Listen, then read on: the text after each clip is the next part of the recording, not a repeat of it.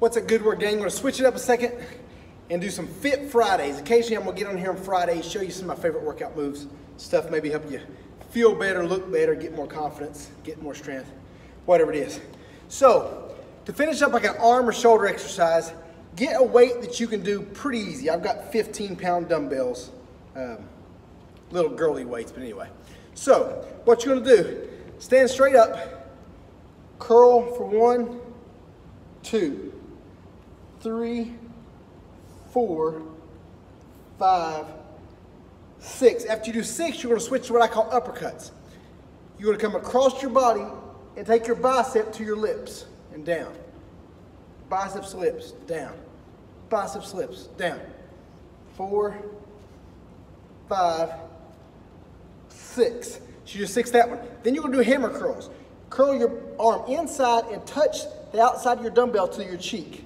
That's one, two, three, four, five, six. That's one round. And before you even set them down, just keep on going. It's a good burnout. Back to the first ones. One, two, three, four, five, six. Uppercuts. One, two, three, four, five, six.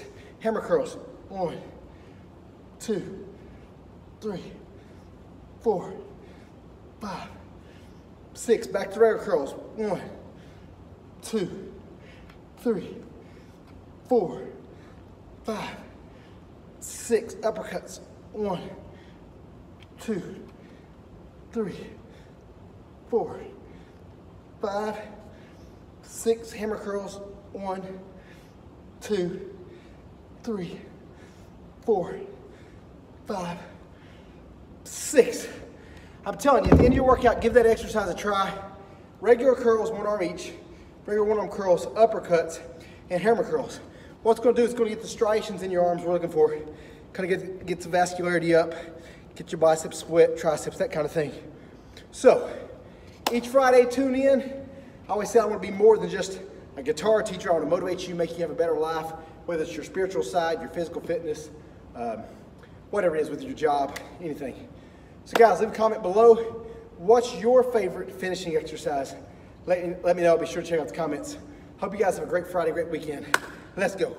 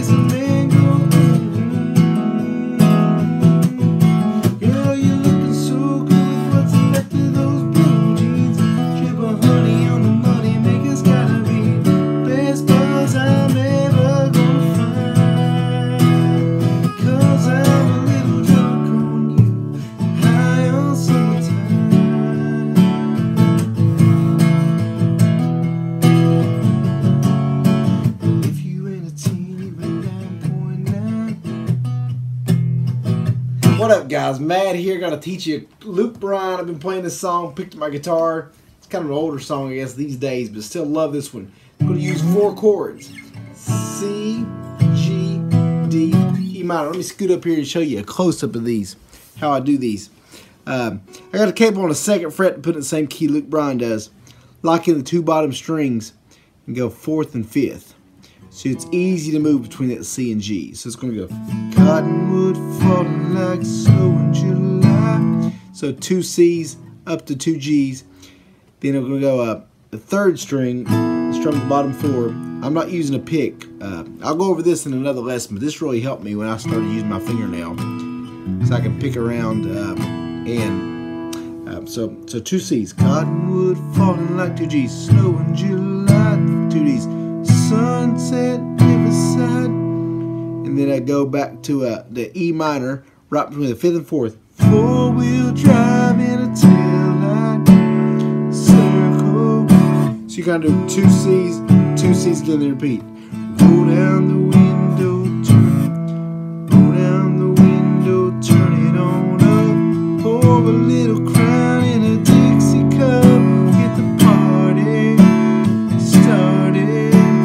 C. After you go C, G, D, E minor, do two C's, two C's again, and you repeat it. Girl, you make my speakers go boom boom. Dancing on the tailgate in a full moon. Kind of thing makes a man go ooh. Three, four. So on that chorus, C, G, D, E minor,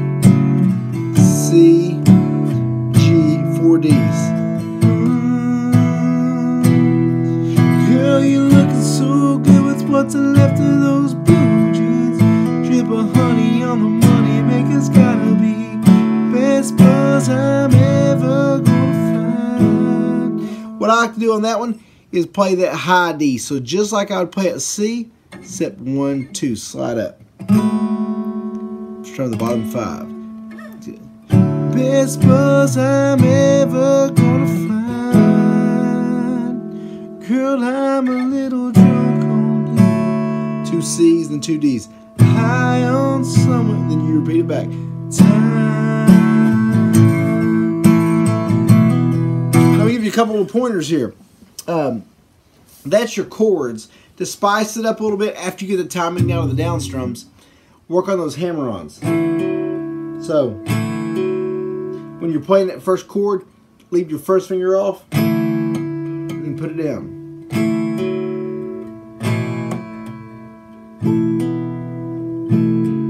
So whatever string or strings for the E minor that your first finger's playing, it's great to hammer on. Spices up a little bit.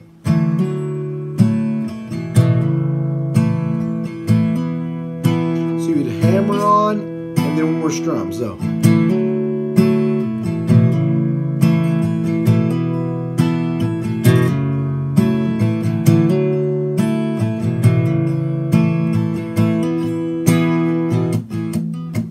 And sometimes I'll do those string stops. Voice squeaking string stops. How's that? Girl, you make my speakers go boom boom. Dancing on the tailgate So, for example, there, you saw me do a bunch of down ups. I say all the time, strumming's about timing. So, notice how I could do, Girl, you make my speakers go boom boom. Dancing on the tailgate in a full moon. and keep it the same all the way through. Two beats and so forth. What you want to do is internally keep that timing going, but sometimes do a bunch of strums. So, for example, Girl, you make my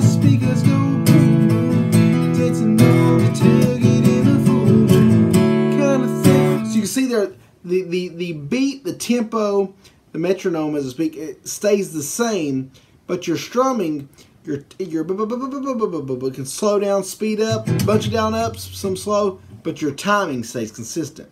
So it's kind of, you're going to have two clocks going on. And overall timing with like beats per chord, but then you can switch up your strumming, kind of left side, right, right side of the brain kind of thing. Girl, you make my speak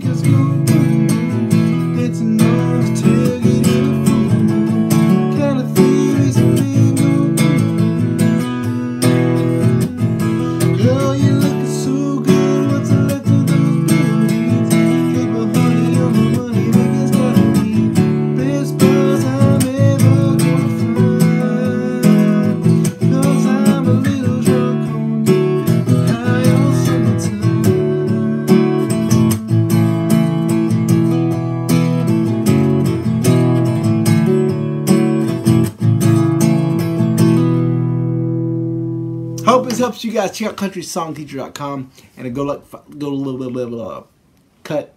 Go like facebook.com slash country song teacher. Please subscribe. Tell me about the channel. I'm gonna start doing a lot more like tips. Um, I use my uh, I've got an iPad Pro for Christmas. I'm loving this thing, and I'm kind of using it for this video, kind of see how it works. But it seems like the quality looks pretty good and stuff. So uh, looks pretty clear in order to do a little better video recordings, that kind of stuff. So hopefully the audio, all that goes well. Anyway, please subscribe. Tell me about the channel. Keep jamming. 2016. God bless you.